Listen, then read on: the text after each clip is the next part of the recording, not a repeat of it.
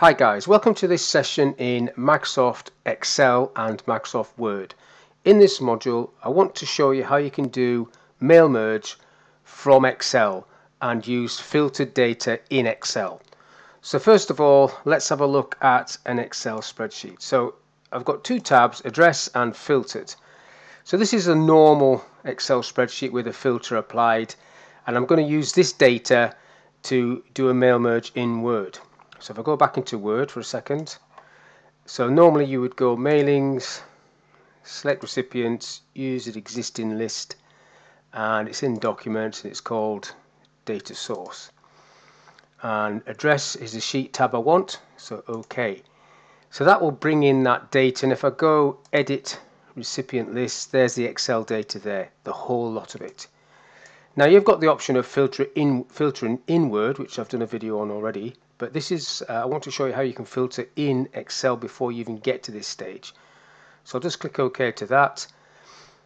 Add a an, an address block that'll do okay and preview that and then you can go through the records and it just moves them all forward like so. So there's 15 altogether.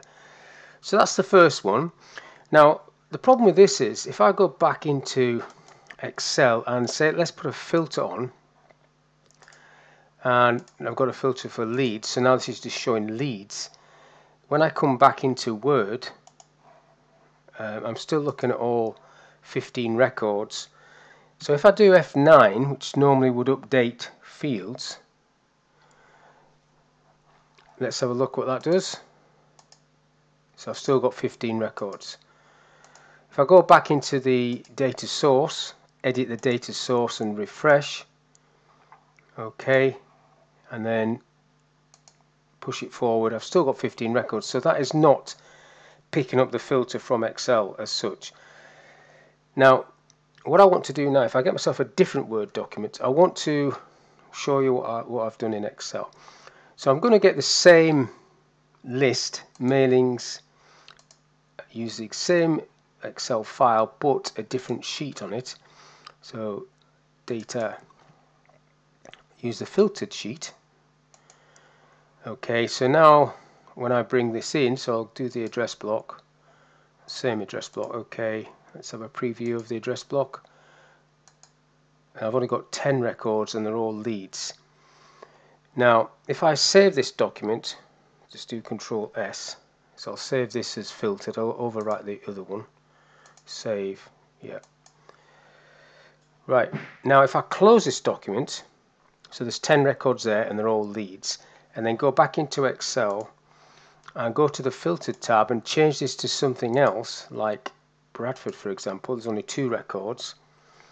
When I come back and open that Word document um, file open. So it was filtered. Yes I do want to update the links. And if I go back to the mailings tab on this one I've only got two documents. So it's picked up the change in the filter. So this is a bit like an access database where you can create a query that's already filtered and then merge it into Word. But like I've already said you do have this option in Word but I just think it's um, a little bit quicker if you can filter in the source data and then do the merge. Obviously you can still filter here if you wanted to pick this city field and equal to Leeds or whatever. But you'd have to do that every single time and sometimes you haven't got the time. So if I just close this file down don't save it and this one don't save that and get myself back into Excel so to have a look at this filter. So what have I done? So there's my source data. That's my main data list um, which I've got filtered so I'll just remove that filter. Select all. What I want to do is let's change this to Leeds. So this is a filter for just Leeds off this list. What I'm using is a filter function and this drop down list. So this is data validation. So in data validation all I've done is if I go to the data tab and data validation what I've done is I've just typed that list of cities but you can use a named range. If you've got a list somewhere you can just use a named range and put it in there equals cities or whatever so that gives me the drop down list of my options. And then the filter function is looking at that A2 and doing a filter. So basically it's looking at the address sheet on cell A1 to H16 so that's the whole table. A1 to H16 the whole table. It's then looking at the column F1 to F16 so F1 to F16 the city column and looking at this sheet filtered filtered and cell A2 so basically whatever goes in cell A2 as I've said which is a drop down list you can change it and it will filter. And this is the source data for the mail merge. So I'll go back into Word and open up filtered yes I do want to update it. And then go to the mailings tab and go forward. So there's only one record for Halifax. Now if I change that again if I go back into this and put a different let's put Leeds back on. So there's a lot more in Leeds and then come back into Word.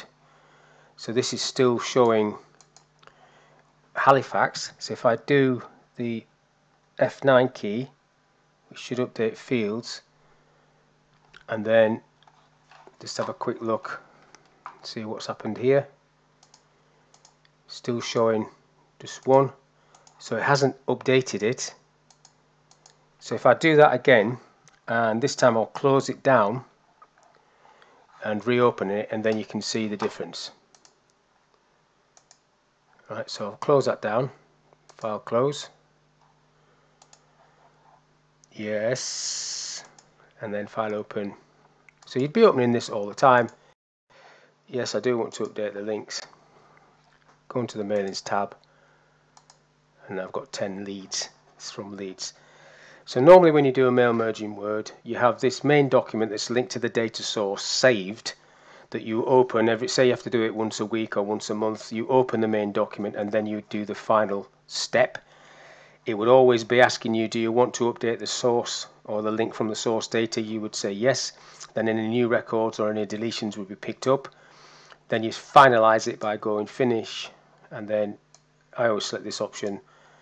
You can filter it a little bit here from record if you wanted to or I'm just going to go for all OK and then there should be 10 10 records for Leeds and this unless you need to save this for audit purposes you don't really need to save this printout you can just close it don't save it and you're back to this source file which you would then save and close and then ready for the next time you're going to do it where you might change the filter to Bradford say and then you can filter from there so it's just a different way of doing it. It's not um, set in stone. You can choose your, your own way. You may even use a different data source, an access table, or you can use data sources in um, here.